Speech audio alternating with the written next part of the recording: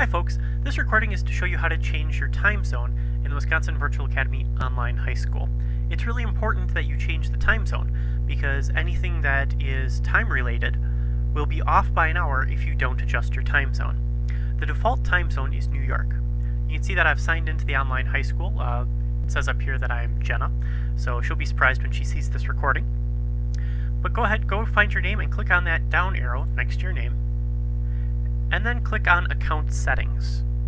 So sign into the online high school, click next to your name, and then click on Account Settings. Once we're in the account settings, we want to go about two-thirds of the way down. About two-thirds of the way down, we will see Time Zone. We want to be in the Americas, and you can see that it's set to New York by default. We want this to be set to Chicago, so we're going to scroll up a bit. So instead of negative 5, we're going to be at negative 6 we're going to find United States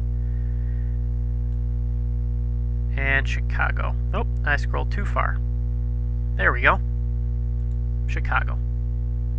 Now we just save and close. And our time zone is fixed. And this should fix your class plan so that everything lines up correctly.